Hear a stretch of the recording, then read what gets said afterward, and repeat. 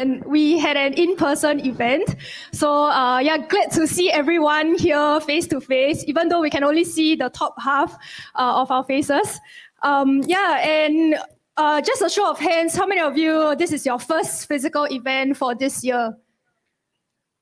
Oh, nice. That's a lot of you. Uh, yeah, a warm welcome uh, to Google Developer Space. Uh, and just a, a, quick introduction on who uh, the team who is in the team. Uh, I'm Jia Xing from the Google Developer Relations team. So I take care of the developer and startup communities in our region. And Lawrence over here, uh, he's our events manager at Google Developer Space. I think uh, many of you would have seen him online uh, for the past two years uh, if you have joined uh, Data Science Singapore's online events. So yeah, really happy to see everyone here in person. Thank you for traveling all the way down after work, be it from your office or working from home. And uh, a couple of housekeeping. Uh, we do need everyone to keep your mask on at all times. Uh, so I do see everyone has their mask on. Uh, thanks uh, for doing that. And uh, yeah, except for me, I'll put my mask on straight after this. Uh, yeah, and shout out to Data Science Singapore's team for hosting your session with us here today. Uh, I'm sure they are no stranger to you. People like Ivan, Kai Xin, uh, Ku, Swanima, Rizal, I think you'll see them around later on. Uh, really happy to be hosting everyone here. And uh, yeah, before we begin our presentation for today, let me just briefly introduce what Google Developer Space does. Um, so we are home for developers and startups from around the region to learn and connect with one another. And we want to empower and connect the communities um, through our people, programs, network, and technologies. So uh, yeah, take lots of pictures while you're here today. Uh, I, I saw many of you taking out your mobile phones, taking pictures. Uh, yeah, and do tag us as well. Um, we are on all these social channels. Uh, yeah, so on our website, uh, we update the events that we have. Uh, and we are also on Twitter, Facebook, and YouTube. And yeah, the next one, uh, Wi-Fi access. If you need Wi-Fi, uh, it's Google Guest. And if you need to use the washrooms, they are at the back of this space. So feel free to uh, use them. And yeah, now uh, I would like to pass the time over to Ivan, who will Oh no, okay, last slide. Uh, very important slide. Uh, so this is the building evacuation measures. Uh, it's very wordy, but uh, TLDR, if anything happens, look for me, look for Lawrence, follow us. We'll go down to level one. This is in case of an unlikely emergency. Um, yeah, so don't worry, you're safe with us. Just look for us and follow us uh, on our way down. And yeah, last but not least, uh, Ivan, the organizing team for today, will be sharing more about today's agenda. Hello, everyone. Hi. Uh, thanks, Jia Xing, for the introduction. So uh, thanks, everyone, for coming down despite the, the dicey weather we have today. I hope nobody's drenched. So we are running a bit behind time. I'm going to quickly go through the agenda. So from 7 until 7.40, we will start off with the basics of reinforced learn reinforcement learning. 7.40 to, 7, to 8.20, we will have practical uh, reinforcement learning. And then for the last 20 minutes, or sorry, 10 minutes, we're going to have the Q&A. So I will quickly introduce our first two speakers. Uh, the first speaker, we have Thu Ya, who is a machine learning engineer. Thu Ya, can you, uh, yeah, just wave your hand. So he's an experienced machine learning engineer who likes to create applications, build data pipelines, scale machine learning models, and move them to production. So he's also passionate about AI technologies, mainly in reinforcement learning, computer vision, and generative adversarial networks. So during his free time, he contributes to the tech community by organizing hackathons, conducting workshops, and um, mentoring the next generation of, of, developers. So for the next speaker, we have Kai Xin, uh, who's the VP of Machine Learning and Innovation at uh, DBS. Kai Xin, can you wave your hand? Yeah. So he works at the intersection of data and product innovation. So over the last 10 years, he has led data teams in developing machine learning products such as deep learning, sentiment models, knowledge graphs, recommender systems, segmentation and targeting across industries like finance, media, jobs, e-commerce, and healthcare. He also specializes in interactive intelligence, designing human uh, designing systems where AI and human intelligence can coexist harmoniously and thrive. So without further ado, I'm going to hand over to our first speaker. Can we put together our hands to welcome Thu Ya?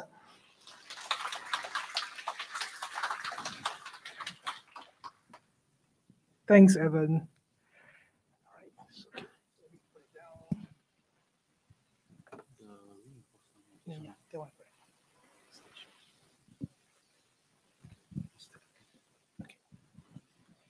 Right. Uh, hi, everyone. Thanks so much for coming this evening. I know you have a lot of other things to do, but you decided to spend the time with us. So, yeah, thanks so much for it. And yeah, my name is Thu Ya Kyaw, and uh, I'm here to talk about reinforcement learning.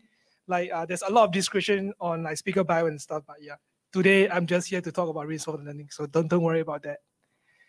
So, uh, and I'm not an active researcher or expert in the reinforcement learning. I'm not using it for my work. So yeah, try to do a fact check before you know uh, you consume the content. So I'm trying to do my best, but it might not be 100% correct, just to be sure. So what is reinforcement learning, right? Uh, may I have a show of hands? Anyone heard of reinforcement learning before? There's a few. Wow, that's that's a lot. Uh, then um, I'm, I'm, I think the content I cover probably will be too basic for you. I'm sorry if, if that is the case, but I will try to be, you know, um, more a- active and you know try to kind of give you some of the things that you might find useful for for that.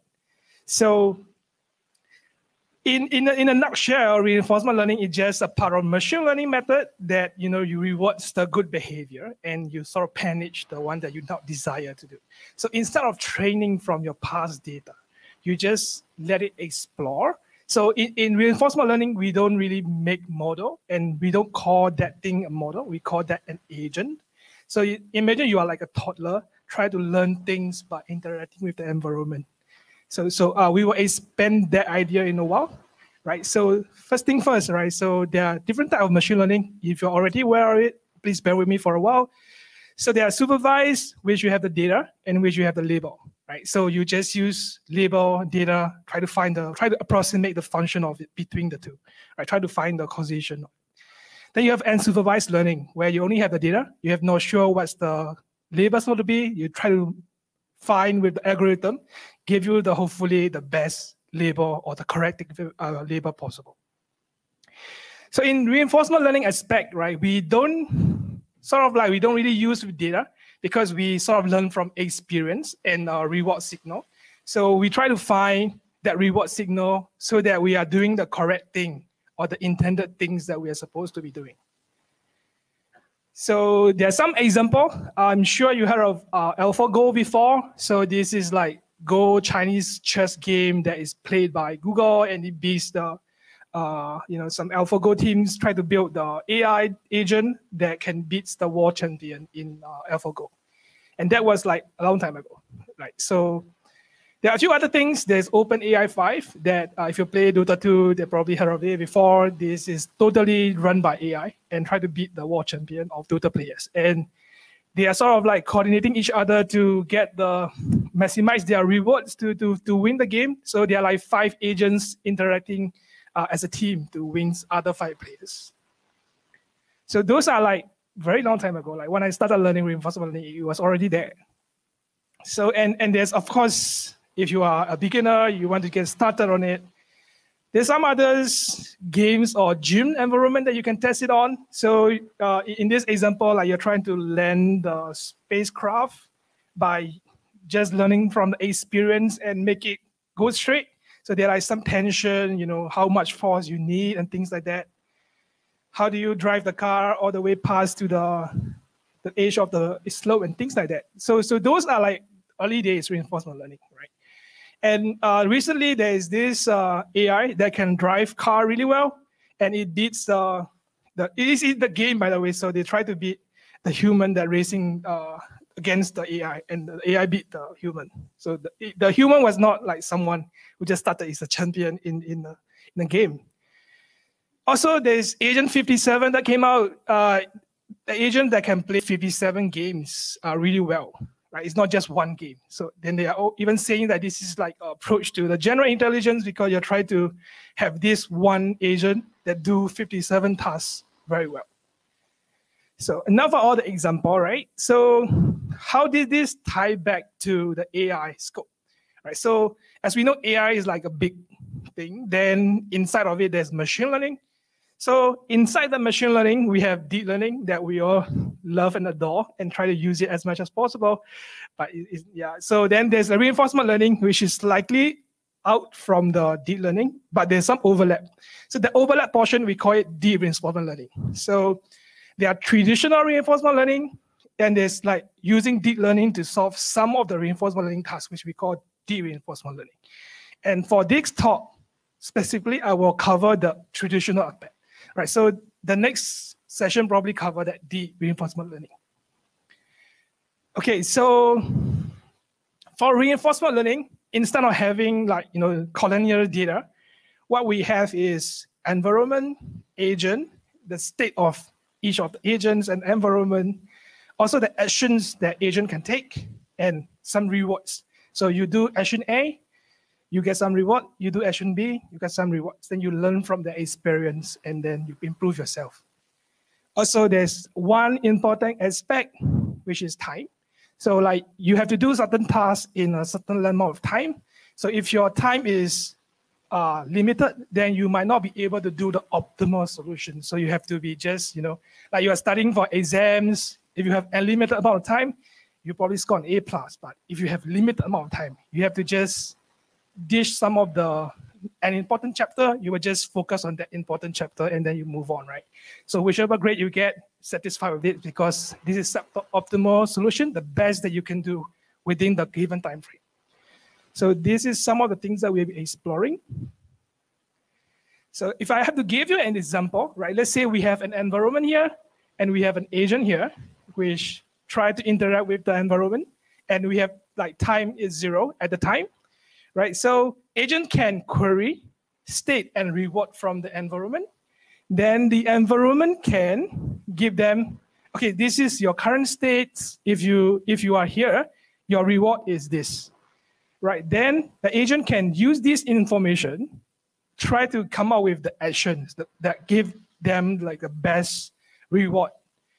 So once the action is being executed back to the environment, it changed something in the environment, right? It, it may or may not change, but in this case, it changed, and then it gives a new state and reward back to the agent.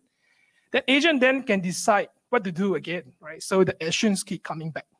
So that's how they interact with the uh, environment. And also by using that, you sort of learn it, right? So every time you do something, you get it wrong, you get minus reward, you get it right, you get positive reward. Then you sort of adjust your actions based on that. So this is in a nutshell diagram that I copied from uh, Barto. So this is like a very good book if you are interested to read. Uh, Reinforcement Learning by Sutton Barto. So this basically duns down two slides into one, like very nicely drawn diagram. So it's the same thing, right? Like environment give you state and rewards, and then agent perform an action. Then once the action is performed, you have new state and new rewards for the agent. So the circle repeats. So, yep, so in a nutshell, agents achieve the objective that you want to do by selecting the best action possible with given the states, right? So these states, I do this, I get this reward, but I want to get the best possible rewards, not just any rewards that I can do. So, so this is pretty much summarize everything that I will be explaining throughout this entire talk. But if you notice the best action, right? How do the agent know the best, right? So it can be any actions, but what does it mean to be the best action to take? And uh, a lot of scientists have come up with this idea of Markov decision process. So it was done, we have our time.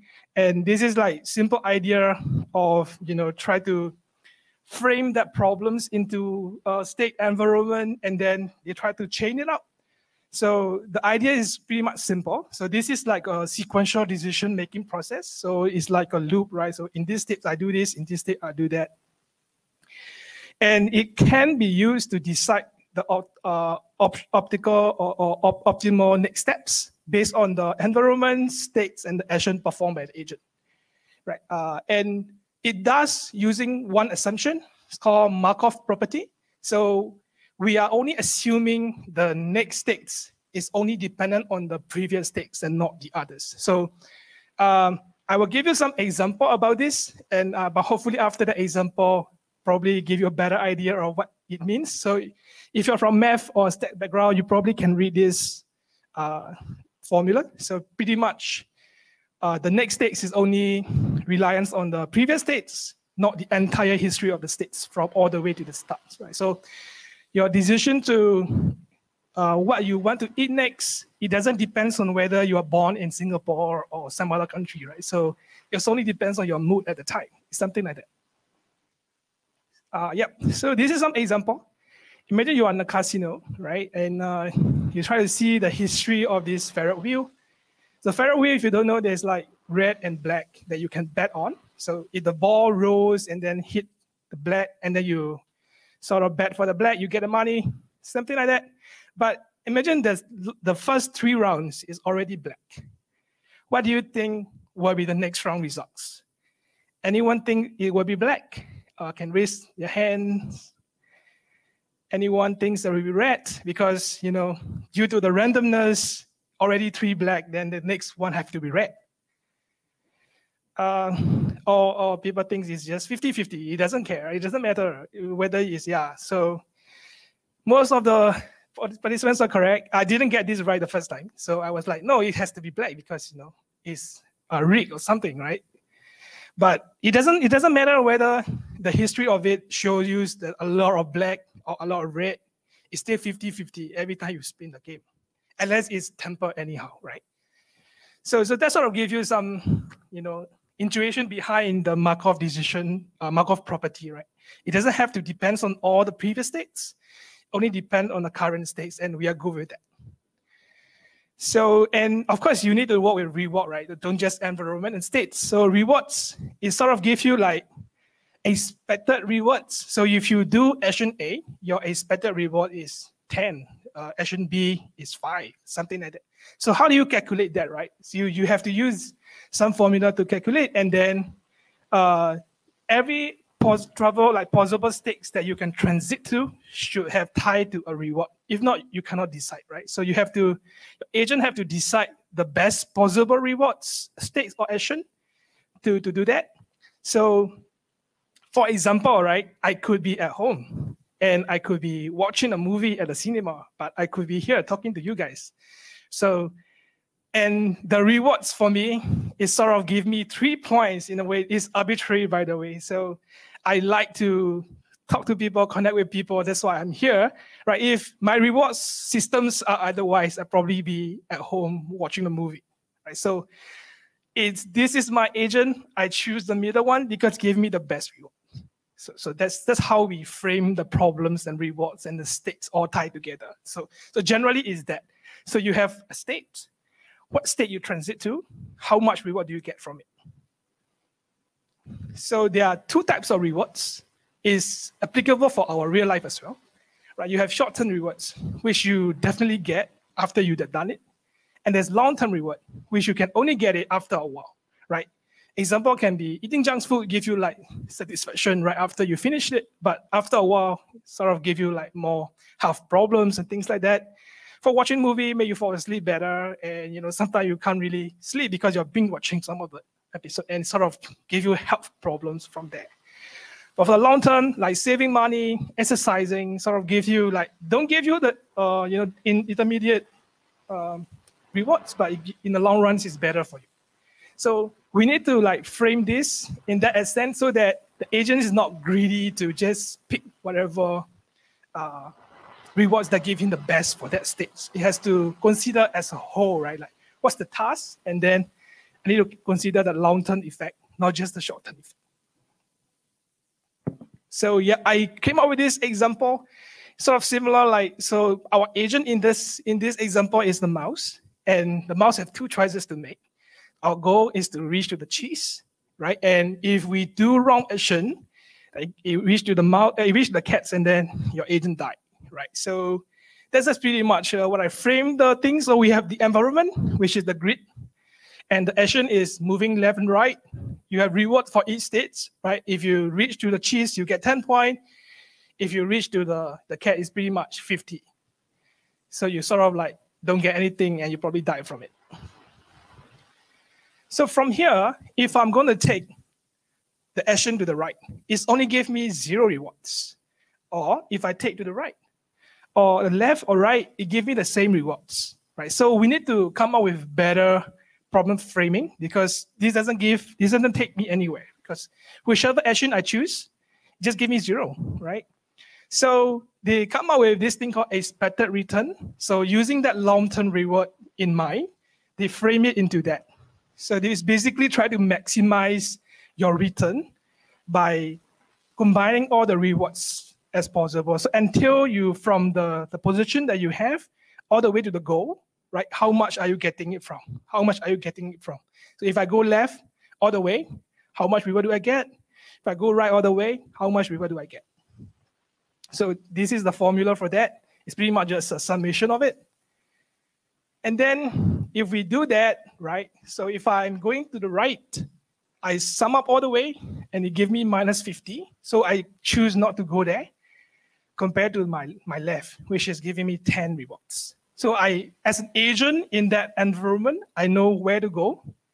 So I will choose the, uh, the left option. But this is only transparent to us because we know from like you know we are we are 3D beings, so we see the 2D world is like this way.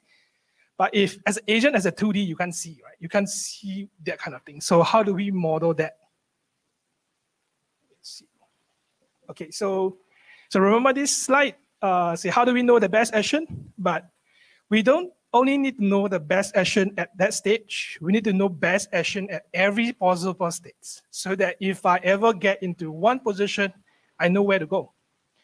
Not just for like, as of now, I need to know my future, right? So that if I move there, where do I go next? So they came up with this term called policy.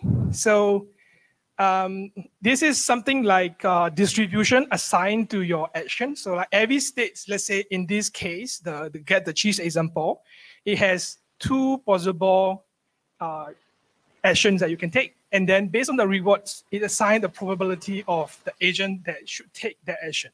So, so left side has a positive reward. So my probability of taking that action for the agent should be higher than the right side because the right side is diminishing return.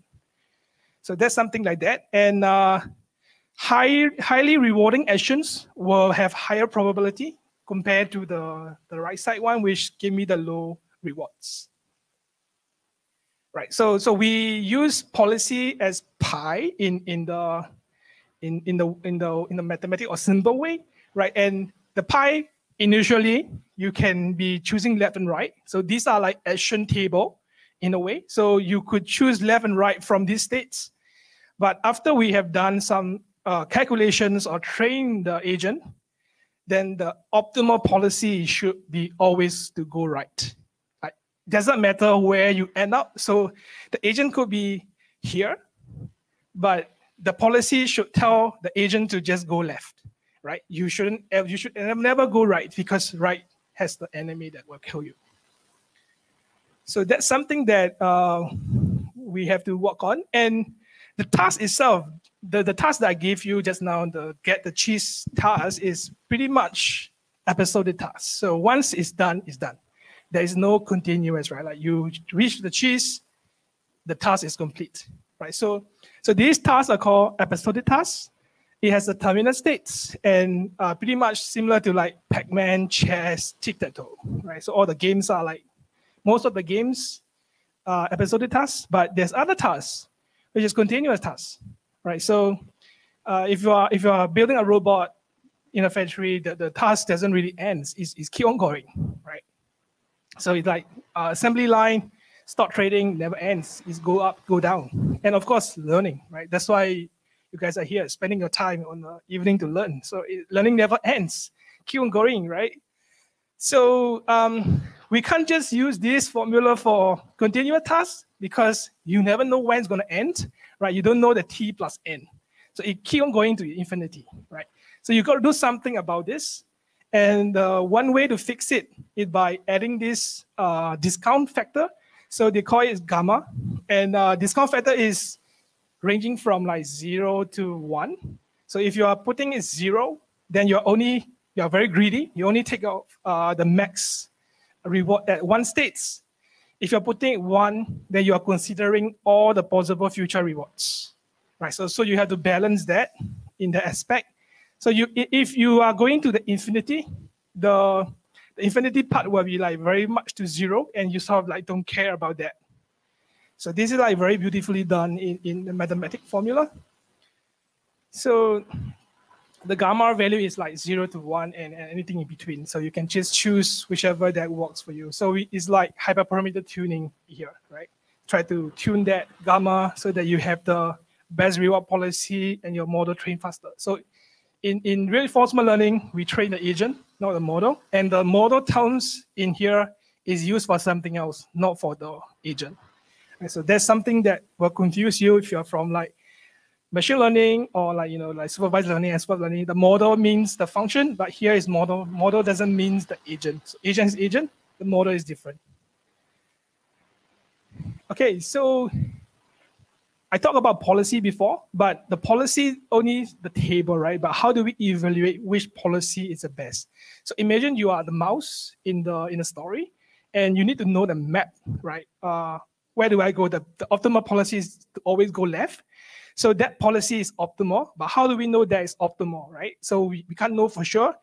Uh, so they come out with like this formula to, to come out and like evaluate the policy between them so that we know the optimal policy.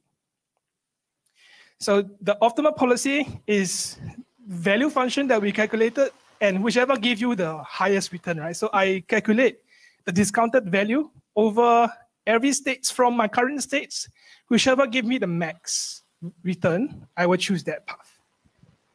So yeah, so there's these algorithms that uh, we use. It's called value iteration algorithms. Is as its name sounds, is keep on iterating until it find the best or the optimal policy. That's like every iteration, it will the values of this policy will get updated until it converges into like very small difference that we, we define.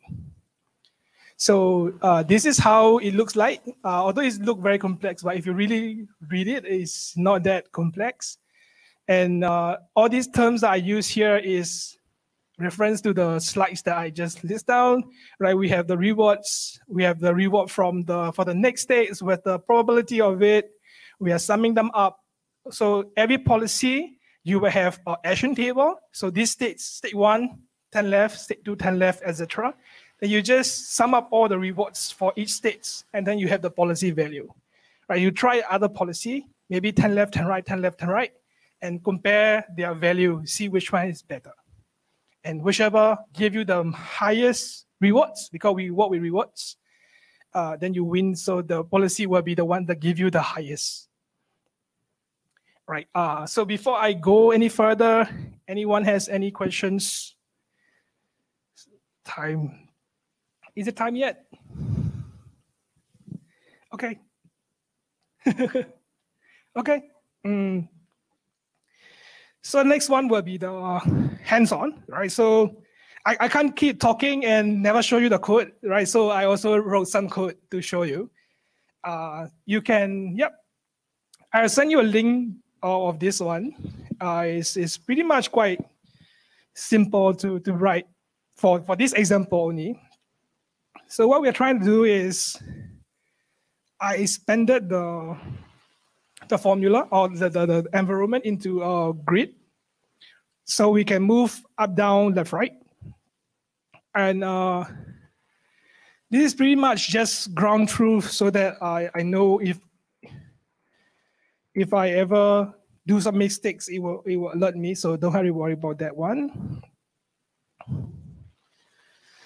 So the first thing first, we need to define an environment and the states, right? Before we start training the agent, we have to build the environment, we have to define the states, and we have to define all the rewards and the action so that agent can use the action in the environment to get rewards and learn. So that's what we will do. Right, so if if you're familiar with grid systems, so from from this we convert into this. So just a coordinate like 0, 0, 1, 0, 1, 2, and etc. So what I would do is I just do that, right? From, from my code is the states, I define width at five, then height is three. Pretty much I create a tuple of those the states and append to the list, right? So if I run this code, it should give me all the states, which is just a coordinate of the system, right? And then we need to define the rewards. So uh, I'm defining cheese as plus 10 and uh, the two cats as plus, minus 10 to just make it easier. It can be arbitrary, it can be anything. It can be uh, one to, it's up to you to define it. And so this is the reward that I would do. I define my goal state, which is 4, 2. I define my obstacle state, which is 3, 1 and 3, 2. These are two cats then I just loop through and then assign, right? If this is equal to goal states, I give them 10. If not equal to goal state, uh, if equal to the obstacle, obstacle states, I give them minus 10. The rest is pretty much zero, right? So I define that. So now we have done environment states and also we need to do actions, right? So for actions is just upright, right? But if you notice, if our agents is here, only go can go left and down, cannot go up, right? Because it's the wall, right? And if we don't define it well, it might get stuck, keep going up and, and never come down. But not that is really necessary, but to, to speed up the process, right? In, in real life, you probably don't know where the wall and surroundings are. So you probably just keep trying until you get it right.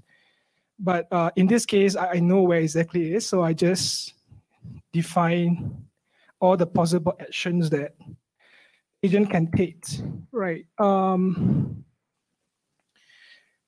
so now I have all the actions, all the uh, environment, environment rewards actions, right? Then I pair them up. So policy so pairing them up. Uh, pairing them up is basically just to define at which states what are the valid actions that you can take, right? So zero zero you can only take up down or up right. Uh, zero one is up down right, etc. So I'm just limiting it so that it's trained faster in a way.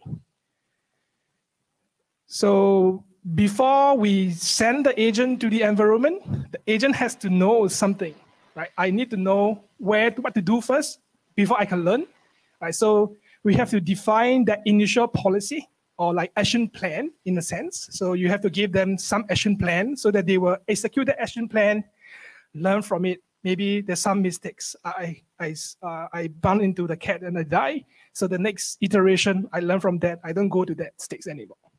Something like that. So the first initial one, we're just using random, right? So uh, we don't really know what works and what doesn't. So we just random choice from all the action possible for all the states. So it looks like this, right? So like uh, if zero zero go right, uh, zero one you go up down. This is not optimal at all. It's just randomized. So once it's randomized, uh, we sort of have to define our value functions. So value functions are pretty much from one state to the goal states. If I take this path, what's my what's my uh, expected return from it? So I could be taking straight, I could be taking curve, I could be taking like, you know, zigzag. What's my expected return? So for now, I just uh, copy the reward states because we don't know any rewards yet. But uh, for this part, I basically implemented into the value iteration functions, and I'm choosing gamma as 0.9. Uh, if you remember, gamma is the discount factor. And uh, I'm not putting any noise, but sometimes you probably need some noise to counter react for your environment, right? For example, if you are programming uh, a robot, like cleaner robots, your floor might be slippery. So you need to cater for that noise into your program. So depends on the, the ground, depends on your the motor function. So sometimes it might it might have uh, some constraint in your uh, wheel or something like that. Then you probably need to cater for that noise in, in, in a in a building or training that agent. So this is actually the formula that I just shown you from the slide. And then pretty much what I'm doing now is I will just keep iterating through all the policy. Key is a state. So every state, I will I will choose a random actions and see there is, is something that is uh, better. So, so I took uh, action like take left. I will compare the next time with take right, see which one give me better uh, expected return. I will choose that. So I will keep doing that for all the states until they don't change anymore. So that, that's pretty much it. So yeah, because this is toy problem, so it's, it's pretty much uh, very fast. And uh, after I have done, I could print out the, the value. So remember we defined the value of cat as minus 10 and the cheese as 10. But after this iteration of uh, all the calculating the expected returns for each states, we sort of get this kind of uh, form, uh, this kind of value for the empty state, which we have zero initially. So the agent will have learned this value just by going through again and again and again and again to update the best possible rewards. So after that, we can come up with this kind of action plan.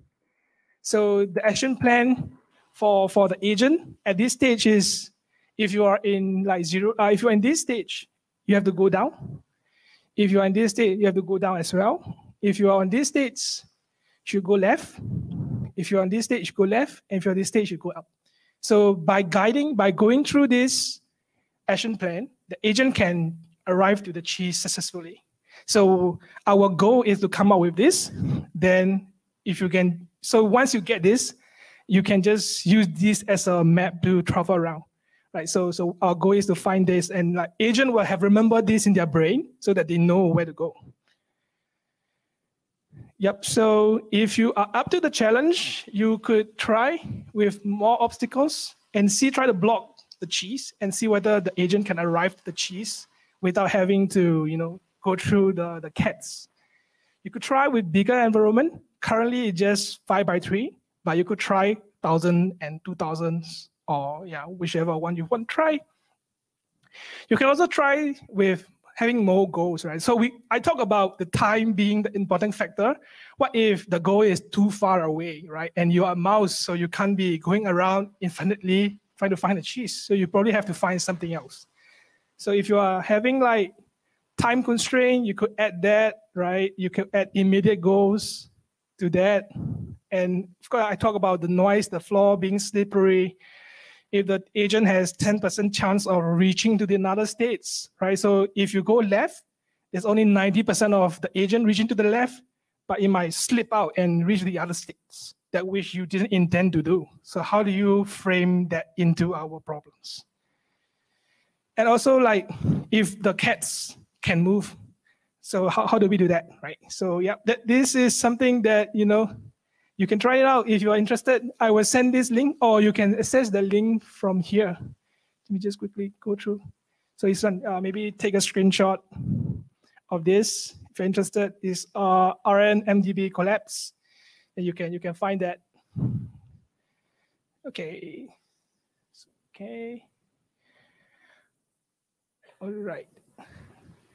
Okay, so that's pretty much it. Uh, we have learned all this, reinforcement learning, MDP, reward, action return, episodic, continuous, policy, value function, policy evaluation, value iteration, and Bellman equation. So pretty much this is like two weeks in uh, university lecture, but you have learned in 30, sec 30 minutes, I think.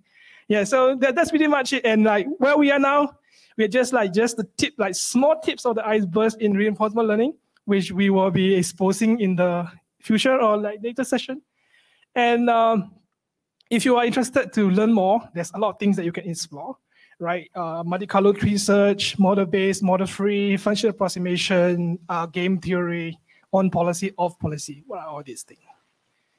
And uh, these are the resources. I think uh, organizing team will share this slide with you guys.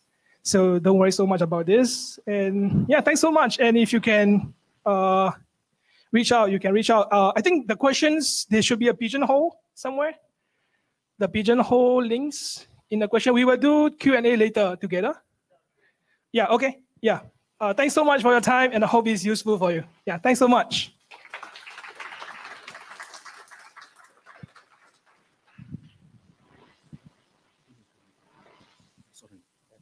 Thank you, Thu Ya. Thank,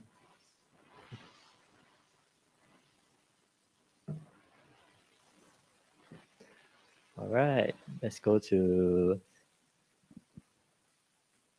Thank you everyone for joining us today. So I'm Kai Xin. So we have been running Data Science SG for eight years. So it's very nice that we can see everyone back, both uh, old and new faces. last two years has been quite a tough time, right, for, for everybody. So it's nice. Okay, let's go on to the talk itself. Today, um, I'll, I'll try to share a bit more uh, based on what uh, Thu Ya has shared. Right? We go a bit further about how do we actually use it in the industry to, to what extent uh, that we can. Reason being practical, reinforcement learning itself, right, is about five, 10 years away. That's what I tell my boss and everyone that asks me as well, to be really usable by the masses. Think about like XGBoost, random forest, all these things that you're familiar with, or even nowadays like language models, all this, right? These are this is probably at the maturity. If you think of S curve, is probably at the maturity stage. Uh, reinforcement learning is not near the S curve yet. It's really at the bottom, bottom where we're exploring a lot. So some of the questions, so you can see some of the links there, and then also uh, pigeonhole and post question. So some of the practical things is um, what it, it, can be used for. Um, at the back of my deck, we'll have some examples, mostly in robotics. So what we see here, mostly in factories, robotics, processes. And the reason we will go through, uh, as you go through with us this example here, you start to realize that for things that you can control in an environment, like a factory floor, a very defined process, possible to do some reinforcement learning. You need to create an environment for you to create this state action reward, like what Thu Ya mentioned. If you want to do something like investment, which a lot, a lot like, I work in finance, right? So a lot of the boss are like, can you create a reinforcement learning portfolio? I can. I will not invest in it. I can give it to you. I will never want to look at it again because you lose you lose money because um, there are a few factors. Number one is you need the entire team of reinforcement learning, PhD scientists, engineers to maintain it. And number two is creating this environment of state action reward. Like you see here, driving car or games, right? It's very hard. So there are two branches. There's one team that focus on building the environment, and there's one team in building the, the algorithm. You need both. So this beautiful environment, we're, talk, going to talk about uh, parking a car. It needs to be created first, and it needs to be able to factor in the entire state action reward, the training thing, and be able to kind of grow together with the algorithm. Imagine doing this kind of thing for uh, investment. You need to build an entire simulator first before you can have a nice reinforcement learning agent. That simulator, if you can build one, then you don't need a reinforcement learning. You just if you can simulate the market for some god god uh, algorithm that you have to build a simulator in that scale, then you don't need don't need reinforcement learning. You just own the market. So there's a lot of things to it. So there's also a question about from Pigeonhole about poisoning. So the practical aspect of reinforcement learning agent we hear so far, right, is very dependent on the reward function. And poisoning means that you purposefully uh, adversary add a fake reward to the entire reward function, thus poisoning the outcome. The defense of that, we'll talk about some of the things, clipping, and some of the overseer things uh, actor critic might come to play to, to, to solve it. So as we go along, we'll cover some of these practical aspects of it as well. So this is meant as a one and a half hour workshop. I, I will speed run it, uh, a lot of it. But the idea is uh, we'll talk about soft actor critic with hindsight experience replay and ML ops. So actor critic. So this is a parking example. So you want to park a car. So if I want to build a park a car model, if I tell you go and build one, using supervised learning method, big data technology. One way is to you go gather a lot of data about parking. You go to Europe and take a whole bunch of videos about how to park car in Europe. You take a whole bunch of car way to park car in Singapore, all over the world, because parking car under different conditions. You take three months to gather all the data you can about parking car because you want to build a giant supervised learning model using big data that might work, but that's not how anyone learns how to drive. Anyone learns how to drive by number one, driving. Number two, you you go to attend like a school or a, a, a, a trainer with you, and then the uncle will scream at you, like, "What are you doing?" And you kind of park the car. So let me show you some examples of this particular agent in work. Um, bum, bum, bum. Okay parking car. So we'll go into the, the I need to go find dashboard. Ah, give me a second. this is too sensitive. Okay. So we go to do a dashboard and we'll go through this parking example. So this is a simulator for parking and the whole goal is of course to park into the into the box. Um, you have some physics in it and stuff, uh, but it's not like a perfect simulator because you see it's an empty car park. View the other cars and stuff. But let's go through and see how the agent learns and we talk about how the various pieces come together before we go on to the theory of it. Okay, so step zero. So uh, each uh, ooh, the size a bit weird. You can see. Okay, so at uh, we define steps. Each episode has multiple steps. So some keywords we will learn also. Uh, episode is basically a training. So this is one episode, right? One complete episode. Uh, the car drive all the way. This is initially the car have no idea what they're doing. So imagine you're, you're, you're driving like that, your instructor will be like, what on earth are you doing? Where's your eyeball? Look at the thing, you want to go to the blue box, where are you going all the way all, all off screen? So actor critic, I'm the driver, the, the agent is the driver.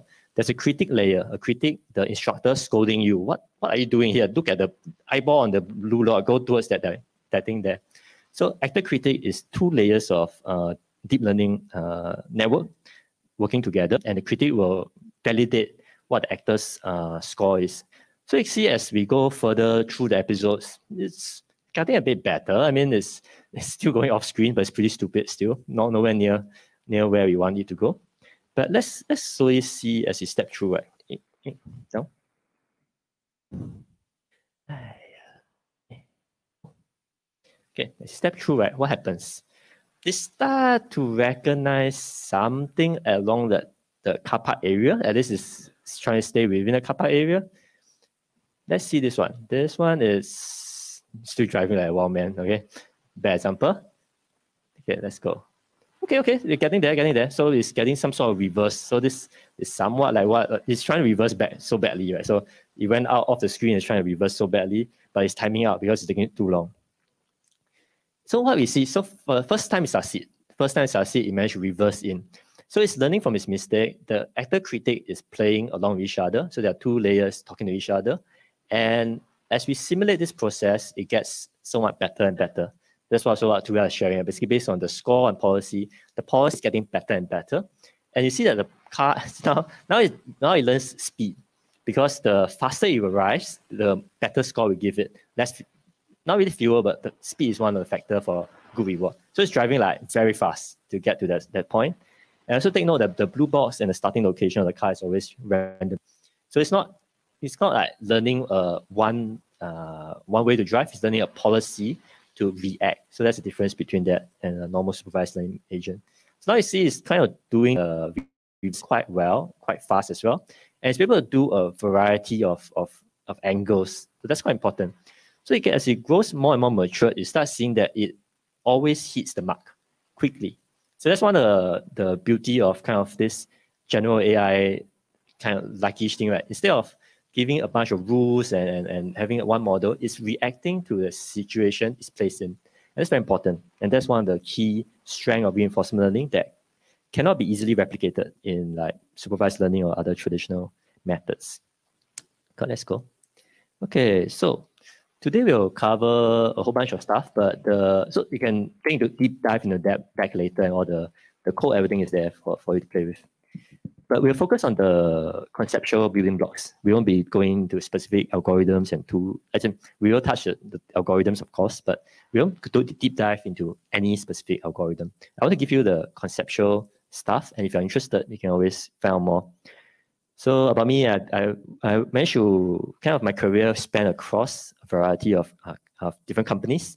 And I think the one of the interesting thing was okay. So I also with Cool, we actually started AI, uh, AIP as well. So Data Science SG is kind of like free event for everybody. AI, AI Professional Singapore, we do certification, we do a bit of paid events. So it's more of a professional body of the Data Science SG. You can take a look at that. So what, what spent me interested uh, in reinforcement learning was the games. Uh, I watched StarCraft for the past 10 years. And first thing that AlphaStar came out in 2019.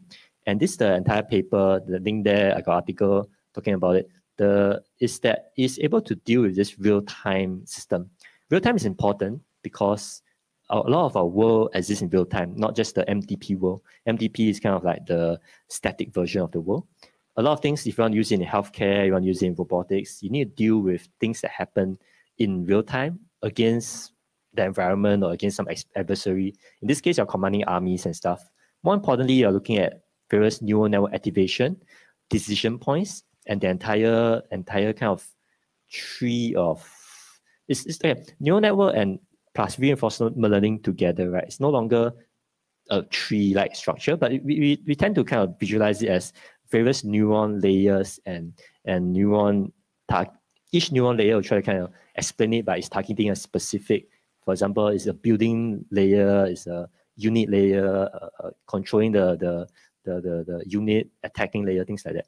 But it's not that clear cut. But either way, so we have all these various pieces come into play.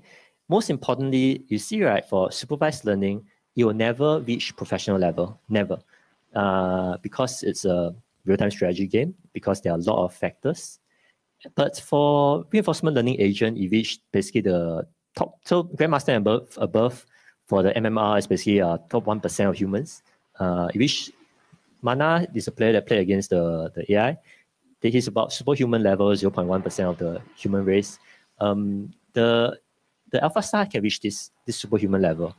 And it does that by a combination of playing against itself and also studying how humans climb the ladder.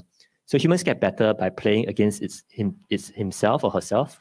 And more importantly, learning from experience, number two. And number three is kind of to combine different strategies. You don't do the same thing. You do different things in different combination in reaction to something. And all these are reinforcement learning attributes. So you, you can think of it as you build a supervised learning on this wouldn't make a lot of sense because you need all the data of all the players that ever played. And you still can't map, match the, the best player in the world because they, they have that innovation flair, they have that particular style. You need to be able to gain that that that X factor, so called. And supervised learning kind of is always looking backwards. So that's always the the issue with some of this. Um, the it, because still a bit of rule based and a bit of like hard to catch up with professionals. So hence this this thing, right? Uh, you see a lot of AI products out there. I'm doing AI. So all these software companies, vendors, behind the scenes or ifs. So I am in the fraud space, right? We, we do a lot of vendor vendor talks. All their AI products is all a lot of rules, a lot of if statements as foundation, because that helps to frame the problem. And then they'll do their fancy algorithm on top of it. But why don't you just start certain problems? Maybe you want to start just from the reinforcement learning approach so it's kind of a, a third way of looking at the problem beyond supervised, unsupervised. That's the, that's the gist of it. Um, again, it's many, many years down the road. So I accelerate some of these things. But a, a side track is basically, I when you see, so this was trained when I was a student uh, at Georgia Tech. And one of the things there was the beyond human level. The now, now you see all these crashes, right? It happens a lot for DQN, but nowadays the technique I'll share today will will take away some of this instability and you will have this beyond human level plateau up there. Consistency. One of the scariest and most powerful point of reinforcement learning is once they get to that superhuman level, you'll always be superhuman. Think about the Alpha Star, AlphaGo, which is why it's exciting. It's rather stable, surprisingly, once it learns how to do a certain job well. And uh, this this article is talking about once you reach uh, human level, the average human level, it doesn't take long to reach an Einstein level and a whole bunch of Einsteins talking to each other will create this this entire super AI thing. We are maybe not not in our lifetime, maybe the next lifetime, perhaps. But most importantly, when you're doing this kind of work, you will see that you have no idea why it works.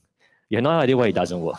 So it's it's very bad. So the the that's why we try to have more talks like this to share about the the the, the process of looking at it and have at least some understanding, not just being code monkeys. So you see, his agenda is quite packed, but we'll just go straight. So um, this is my I have a I have a girl, so baby girl, and the baby will let the baby explain to us what's reinforcement learning. Um, so for her, right, when she start eating, there's no concept. So it's a very common problem of, of reinforcement learning. There's no concept of eating. But how do you actually get from here all these questions to to a definite more more structured questions, right? What's yummy? What tools do I use? So that's what that's what the Thu Ya mentioned, right? Environment state action. This environment of eating to that to that thing on the right where you talk about memory, you start storing knowledge about the actions you can take, the results of it. Attention, how do you focus your attention on eating using the tools? Imagination, being able to kind of go a few steps further than what you have seen before. So these are concepts that are very important for uh, kind of practical uh, RL. It's all about repetition, all about feedback loops, and all about the policy. Again, what Thu Ya mentioned, right? So those are the, the key of it. So TX problem will skip, same thing as what Thu Ya mentioned, have the grid thing, try to have this policy. Uh, this is the formulation that uh, for temporal, this captures the temporal difference and the state action reward Q learning. Long story short, right, when you want to update uh, a value, so we call it a Q value, right? Reward is given at each uh, action you take. So in this case, you want to escape, the T-Rex. A negative reward is you get eaten, 100, negative 100 points reward immediately. So that's bad.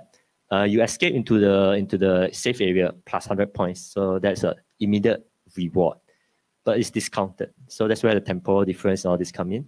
Discounted because you want to build a agent that will learn not just the avoid the T-Rex, not just to get to the exit, but the entire pathway to avoid the T-Rex and get to the exit. The journey is important, more so than, very much more so than the, the outcome actually, more so the learning.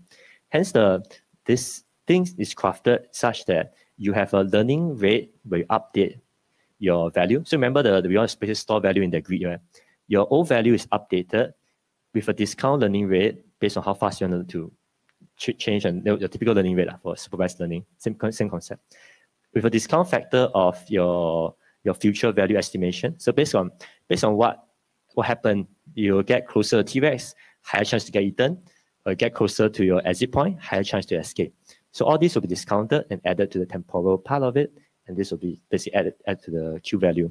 So Q value is a capture, it captures the reward, short-term reward, long-term reward. That's what value function means the, the wiki is actually very good. So you can say it's a wiki link. So they'll explain the whole thing nicely.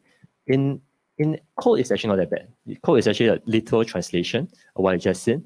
And nowadays, later we'll see the a lot of the functions. You don't even code the Q Q value out anymore. You just call it like a, a scikit-learn like that. So we'll talk about that later. Some challenges we need to get through these pieces. These pieces will help you understand a lot of papers and a lot of the the work that's been done in the modern approach. So again, it's a bit uh, abstract, but when you put it together in the code, you'll see how, how this works. Doing grid doesn't solve anything. I mean, it's a very good uh, tutorial to get started, but doing grid world doesn't solve real world problems. Hence, we need functional approximation. We cannot calculate every single grid score, not possible in the real world. For example, in Go, there will be like billions of stars equivalent, billion upon billions of combinations not possible to fill out the grid. But in the supervised learning world, we know how to solve it. We use uh, a model to represent, uh, let's say we want to build a fraud system, we don't need to have fraud data for all the combination. We can have a fraud model, a best fit model to represent fraud in general for this particular kind of fraud, for example. So similar concept, we build a function approximator to approximate what will happen if we take the action without taking the action. So we use some of the things that we learn along the way as the robot drives around. You pick up some of this reward function, things like that, the reward value, update Q value, and then we do a function approximation and we focus on the loss. So a large part of large part of the models are about this loss function, how to op optimize it. This is very old code. This is like many, many years ago. Now, now then cleaner ways to write it. But long story short, there's an optimizer and we try to uh, kind of reduce basically the, the loss function based on the difference between our function approximator model and the somewhat actual value that we can we can derive from we have seen. So that's one. Function approximator helps you scale up. Exploration exploitation is nothing new. A lot of the models, uh, supervised modeling model does it. Um, so more importantly is um, how do you balance it? So the epsilon decay is a typical, again, from supervised learning world, epsilon decay, uh, things that will have this temperature thing where you start off exploring a lot and then you eventually exploit your knowledge to to be able to run it. So there's this probability thing that will will based on the will change over time. So at first the probability of taking a random action to explore is very high, and over time you become uh, less and less random. You kind of be able to do the actual actual uh, action that the most optimal action. So this part is the so cute, so dumb phase, right? You see it's crashing, it's flying all over the place. It's like not doing anything that's useful, but it's actually learning and building up the ammo, building up the knowledge. Then it's, it goes to the tipping point. You always see that. And then you have this beyond human level, and you can see the robot is landing uh, better and better into the thing. Same as the driving, right? It gets better and better. So that's the exploration, exploitation. Um, dueling is important. So we talk about Q value, right? Q value, uh, it's uh, it balance the long term, short term. There's also a huge concept of advantage. So you see all the recent paper talk about advantage. All the recent algorithm use advantage. Advantage is the advantage of coming to the meetup today versus staying at home. So the advantage you gain today, hopefully, is knowledge, fun, friends. Uh, so these are positive things versus staying at home and being depressed, sad, and by yourself, things like that. But you get to have a nice meal at home, things. So that's trade off. So, so advantage is against your next action, other actions, other options. So advantage is a very interesting concept because it now compares your not just the long short reward, but this reward against other rewards that can could have taken. And you'll be surprised as you optimize advantage across the network. What we what I've seen before is you can take a disadvantage position, and that happens in AlphaGo when they explain why AlphaGo wins or even lose. Say though, you take some very strange, silly moves or not in not efficient moves, so that you can gain the advantage 20 steps down the road uh, this particular seed that you place, this particular move that you play can be used to your advantage. So, so it's a long balance, the long-term thing, also kind of balance the, the other trade-off, the other moves that can branch from this. So that's a very important concept. Okay, so advantage calculator like that. And advantage uh, code-wise again is very simple. You just split up the view, the value, and uh, so you can see that actually back end again you don't implement advantage anymore nowadays. You just call it back end is not that hard Back end is just spitting out. There's a lot of math to prove that it works. The, there's a lot of, of concepts behind it, but the actual code itself is not, not super hard. And that's what I'm trying, trying to bring across as well. When you bring everything together, it's, it's super hard. So don't, don't, don't try to code uh, reinforcement learning algorithms from scratch. You'll die. So use a package. Yeah. I'm just telling you this, are, this is how it works. Lah. So as you know. Now, experience replay very important. Experience and all this that we mentioned uh, the experience replay actually get a bunch of uh, batches of experience so that you can train your, your model. For example, car. Parking a car, I want it to learn how roughly to deal with situations, to move backwards, uh, to, to, to turn the vehicle. I do not want it to, to remember the whole sequence because this sequence will almost never occur again in the real world. It will always be slightly different. I mean, for those who, who uh, people park car, even like, like park or drive yourself, right? You, you'll never get the same situation. So spin out the mini batches. And also later we'll talk about some other more intelligent way of using experience. It's very important. So experience itself is a asset that you must fully utilize. And there are many ways to do it. And we'll learn about hindsight experience later. So which is very fun. Okay, almost there. So separating and double. So again, these are keywords that you you hear a lot in the papers and the, the methods. Separating the target layer and uh, having a separate target layer and value layer. We will see that image later. And having double Q network to kind of uh, one to generate and one to select the action. Uh, this will help with some of the adversary attacks as well. So um, this one actually improves the performance by not overfitting your your your your single policy. So you have two layers. Actor critic, for example, is, is one. Okay, so the, the purists will argue with me that double and is, is different from actor critic. Fine, but actor critic is one way you can visualize having two separate networks. One one person scolding you to drive better, and you drive, rather than overfitting everything to just one network. I'm the driver. I'm criticizing myself like a madman, scolding myself. Why am I not parking it correctly? That doesn't make sense. So having multiple layers of of network working together is it protects the the, the integrity of the, the model better. So now the question was about poisoning. If an adversary try to poison your reward function, having multiple layers, double Q network, separate target uh, network will help reduce feedback loop and protect your your your training better. Okay, we're ready. Uh, do you feel ready? Yeah. Don't worry, don't worry. The, the, reinforcement learning is something that you go again and again and again. It, it, reinforcement learning to learn it is like reinforcement learning process. You you'll look at it again and again over the next few years, and eventually you'll get a bit hang of it, hopefully. Stable baseline is the scikit-learn candidate. There are tons of candidates. Again, it's like Wild West. This is, think of it the days before scikit-learn. Think of it the days before XGBoost. Think of it that before whatever was a TensorFlow or, or PyTorch, before all these things are invented, how messy it was. There was no NumPy, there's no no pandas. Okay, I came from that time. So before all these things were invented, this is reinforcement learning stage. Nothing is standardized, and stable baseline wants to be one of the standards. We'll see how it works uh, a few years down the road. Okay, I got apparently 10 minutes to finish finish up. Let's go. Okay, so the, the, the, the, so later the again the slide, the first link will have all this. Let's talk about so this is a Colab code, right? So remember to for the runtime environment, remember to set set your uh, GPU. Get started when you install the package. We go straight into hindsight experience replay and, and HER. So how do we teach a car to park itself? Some questions here.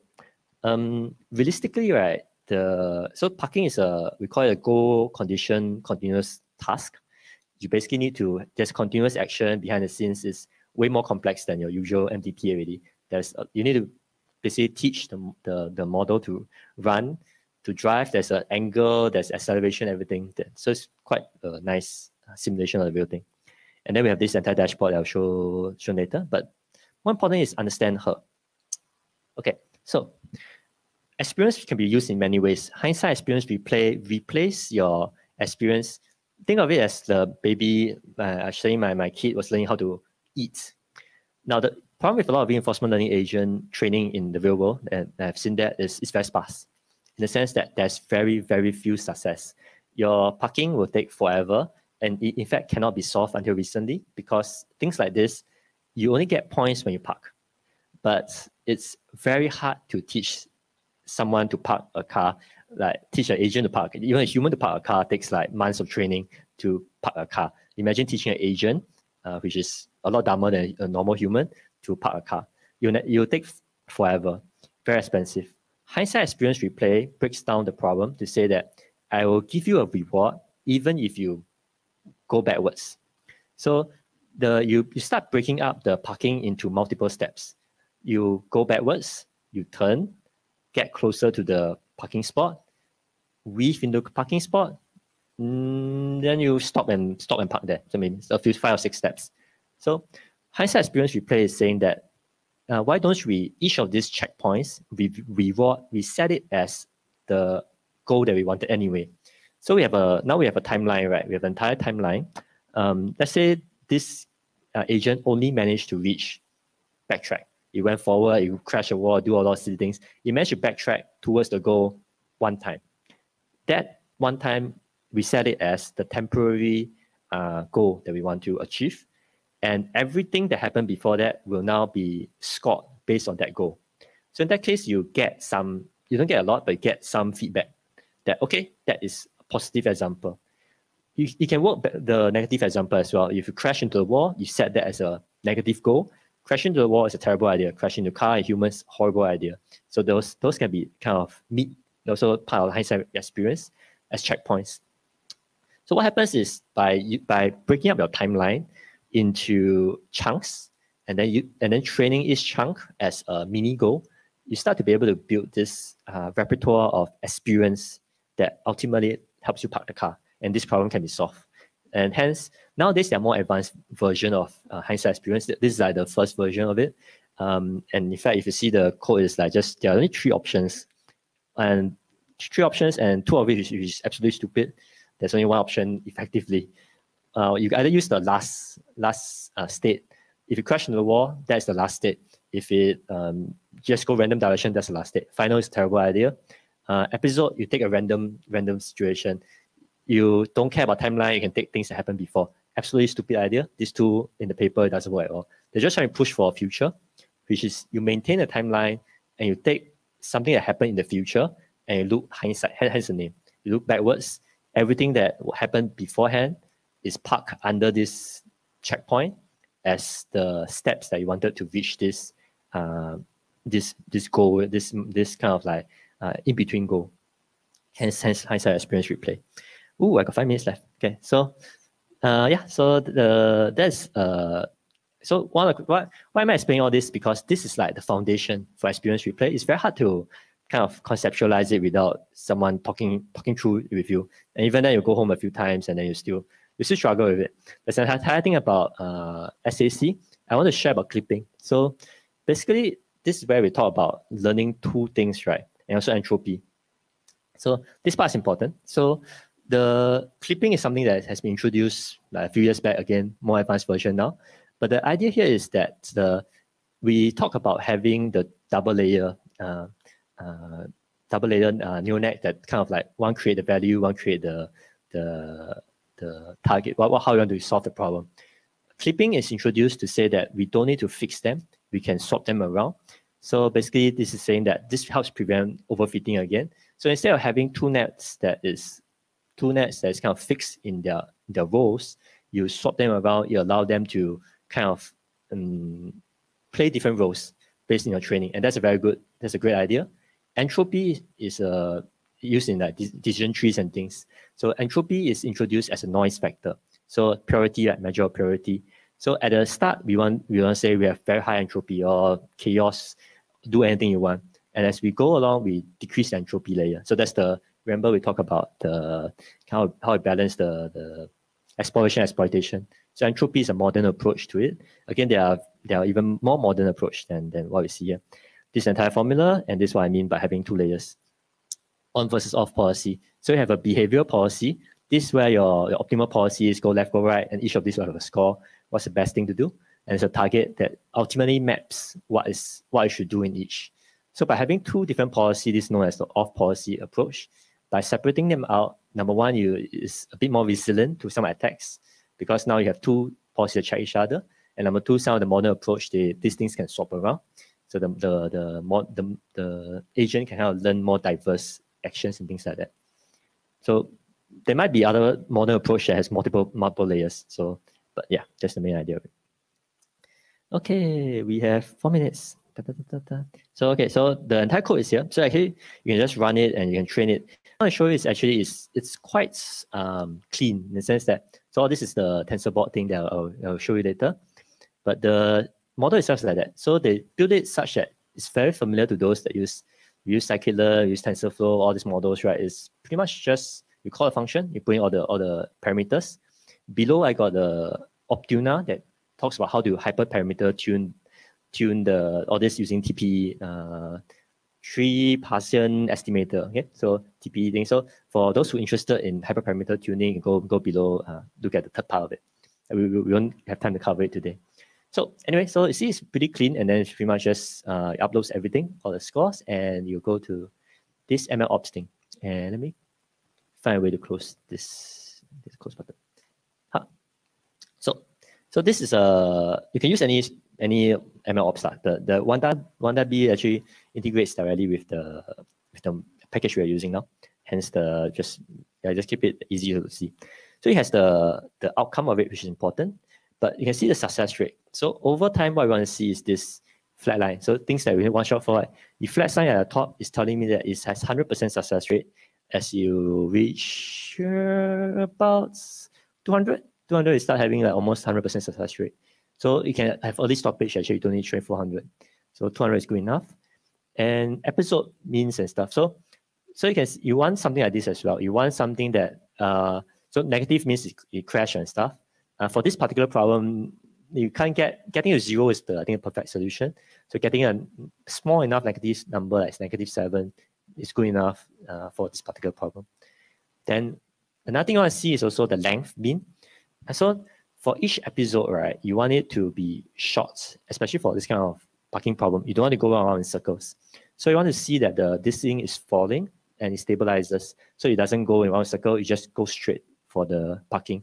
So again, it's problem specific, but this is how you read, read this kind of chart. And of course, global steps should just increase that. I mean, this is number of steps that goes over time. So having an ML ops platform like this tracks all these pieces as well as the they have all the the setup, the the, the whatever resources used, and also your model is safe, things like that. So again, it's it's important for for reinforcement learning agent in particular because you want to see all these various pieces. Hmm. And I have one minute. Yay! So Q and A is after this, or after this, okay, so I can wrap it up quite quickly. Um, so that's for the this part. So each of these I have some references in go for the documentation. PPO is interesting because the yes, yes, multiple uh, use case. So uh, for PPO, you can exploit further on yourself. It's an algorithm that I call it kind of like the baseline for everything in RL. You can run anything in PPO. The OpenAI was using PPO as the baseline algorithm for quite a couple of years because it can run in anything. You can run robots, you can run driving, you can run uh, like all sorts of uh, algorithm. And unfortunately, we don't have time to kind of go through all these details. You you can take a look at the notes I have here, and then you can uh, ping me if you have any question. They focus on advantage. So they use advantage to talk about policy. Again, this is another way to counter poisoning effect by keeping track of the policy delta that you are training between the new and old policy. You clip it uh, using the advantage advantage formulation and value. So all this formulation is just trying to keep your delta change in a small controlled manner so it doesn't go go totally off the charts and totally go go crazy. Poisoning occurs if let's say I want to force your I, I am jealous of your car parking thing. I want to it to crash all the time. I want to kill all your customers. So I'll, I'll put in a reward function that such that I trick it to think that crashing will give you a lot of reward. So that's poisoning. So clipping, uh, advantage clipping will prevent that because you cannot suddenly switch from a, a, a, parking agent into a crashing agent. The difference is too big, and then clipping will stop it from happening and will flag out a bunch of errors and stuff. So that's one way to that modern approach can also prevent such uh, such adversary attacks. Okay. All right. Yeah. Over time, one minute. But yeah. So last part is the the, the, the, last part can check the the hyperparameter tuning yourself, the Optuna. And if you're familiar with TP or you're not familiar with TP, you can, can, can talk to me as a tree-based Parzen estimator. And yeah, so this one actually optimize all the parameters you see just now. Uh, yeah. Mm.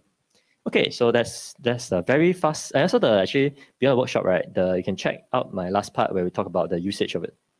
Just someone is coming to kick me off the floor, is it? So last part is the deployment challenge and all the all the various uh, pieces of that that why it's like five ten years away and how is it used in the real world. Yeah. Okay, thank you.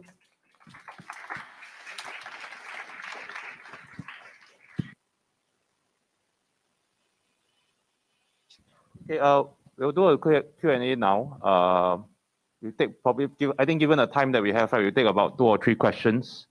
Uh, anyone has any questions, just raise your hand. Okay, on. Uh. So uh, when you ask a question, just keep your mask on. Oh, okay, yeah. Okay, thank you for the presentation. So it was very awesome. So my, I have a very common question about um, data set. You mentioned in the beginning of your presentation that we have to collect all car parkings around the world, in Europe, in Singapore, in other countries. But to be honest, me, like a, I am a driver, I don't need it to do it. I don't need to travel all, the, all over the world and just look at all car parking. I just need maybe two, three of them just to understand conception and I, I can go to the other country and just park with, with no problems. So is any ideas how we can just switch from this classic approach of collecting as much as possible data to some new conception? So this is the question. Yeah. So the what I presented just now, right, the SAC hindsight experience is to solve that problem. So the whole point of reinforcement learning agent is you don't need to get all this data all over the world. You generate this data. So how StarCraft, they managed to play StarCraft, they managed to play Go, how that agent managed to park the car is by generating its own labeled data by running it through a simulator. So whatever you see that's happening here, right? So it's true that we didn't feed any data. We, we didn't tell it anything beyond the state action reward. So this is literally what Thu Ya presented, right? State action reward function. That's all the, the, the agent knows. And it learns how to park a car just by trying to optimize its reward function. So in this case, it learns to go backtrack to, to get to the, it doesn't understand parking at all. It doesn't, it's not fair with any additional data. It just learns that by doing this thing, I get the most reward. That's all I care about. So, so the, this is the modern approach indeed to solve uh, problems like this, and it's used in some of the self-driving car applications. They're using this concept together with some of the supervised learning method like computer vision and all this to supplement it. Uh, yeah, but the in this way, we don't need to do all the collecting all the data. Yeah, but by using reinforcement learning. Hmm. Anything? So, so I have some experience with like training this kind of model. So if you forgot to like in, implement some of the rules, let's say you ask the agent to just drive straight away, right? Like you just keep on the road, keep driving front. If the car is on the other side of the lane, it was scared do that, like keep driving out, but it's wrong, right? So you got to find out all the rules to implement it so that it doesn't violate the traffic rules. And different country have different traffic rules, right? Sometimes it drive left, sometimes drive right. So you got to train all these rules implemented inside the model so that it will it will really well with it. Yeah. Excellent, yeah, excellent point, yeah.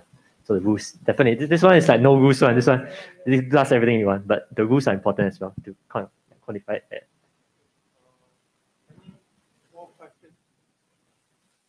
Yeah, yeah question, the questions here. Uh, okay, uh, try to go one by one. Top one, uh, expensive. Uh, Hello. All right, one question. Okay. Hello. Yeah. So my question is like initially you mentioned that there is a difference between an agent and a model.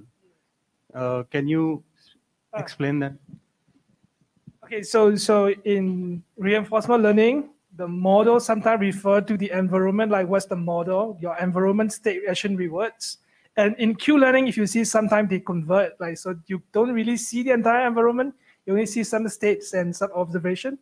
But in some other problems, you don't really see the states. You have to guess it, right? Like you don't know, you're in a blind, try to drive in night or something. So if so, uh, sometimes uh, we we imagine model in deep reinforcement learning we use deep learning model in like you know in some aspect to to guide the agent to do certain things. So in that in that way, you will call model agent. But whatever I did previously, I wasn't training anything, right? So it was not model that I'm training. So it just try to find that uh, policy plan by going through one by one. So that's not really a model, right? Yeah. So how that explains it. Okay, so some very good questions here. Uh, actually, I try to cover a few more because the first one, uh, the answer is uh, there's no. Okay, let, let explain like the biggest challenge of RL is how expensive it is to set up the environment, how challenging it is. There's no way around it. You need to have a very, very sophisticated and good en- environment. Maybe there's some experts can, can correct me, but as far as I understand, there's no way around it. It's expensive. Um, the OpenAI team spend millions, billions of dollars to build their their StarCraft and and model, and they try and monetize it through healthcare nowadays. But yeah, it's expensive, and both in terms of hardware as, as well as the talents needed to maintain it is crazy infeasible. Give it five or ten more years, yeah, it, it, yeah, you can't you can't use it. There's also one very good question about the search. Uh, I thought about it. So when when when when I was doing in my even in my, my school days, how is it different from A-star search and things like that, right? So it's true it's a search problem to a degree, but um, A-star cannot park a car. So there's a limit to what all these search algorithms, computer science theories can do is the, it's very defined, uh, let's say defined distance problem, uh, shortest distance.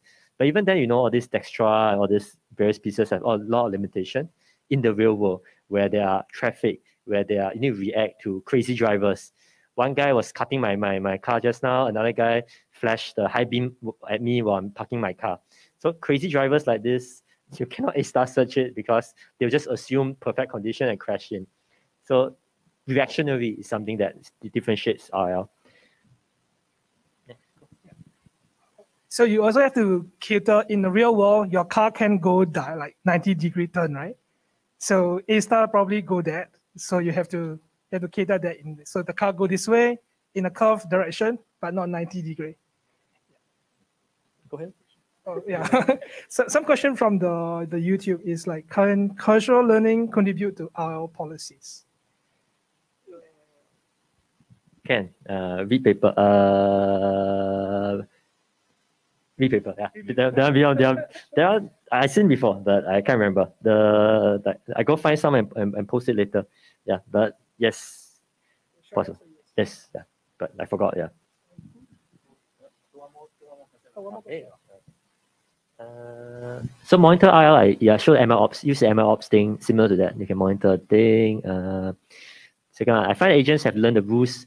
Ah, so the interestingly for StarCraft, in event they started off trying to feed a lot of the StarCraft rules as well as the player history. In the end, it doesn't matter. They just play against itself. So the again, the modern approach for RL is it, you don't need rules. You don't even to know what game you're playing or what, what, what is, how it works. The, the, the, the, the scary part is it doesn't know how it works. It just knows it has to win, regardless of whatever it does. So the, the RL agent play against itself and just train its own mind to solve the problem without knowing the problem. And that comes with a lot of uh, issues. You want to deploy it in, say, healthcare and all these things where you need explainability. You cannot explain IL easily because it fundamentally doesn't care about rules. It just cares about reward, uh, how you optimize the rewards. And hence, I think two was sharing, agent can play like 37 games, how many games, right? It doesn't matter. They don't care about rules. They don't care about how it works as long as it reach the goal for them. Yeah. Okay. Uh, I think in view of time, right, we'll stop here for today. Um, so first thing first is uh, a round of applause for the speakers, please. Uh, and also to Google Developer Space team for uh, having us, hosting us. Thank you very much. Okay, um, and also to all of you as well, uh, we didn't expect such a large response actually after COVID with the physical meetups and all this. So uh, a round of applause for yourself, please, for coming all over here for the Data Science SG uh, meetup. Um, so thank you very much. Uh, the speakers will still be around. You can still ask them questions, but please remember the safety measure. I, I can't remember what the other M stand for. Never mind. Anyway, uh, you all know what, what the SMM stands for. Um, so one more thing, I just wanted to remind, uh, let you all know that the next meetup right, is also physical meetup as well. It should be on the 22nd of June. So do mark your calendars and do join us if you are available. Okay, so thank you very much for coming and uh, hope you have a good evening. Thank you.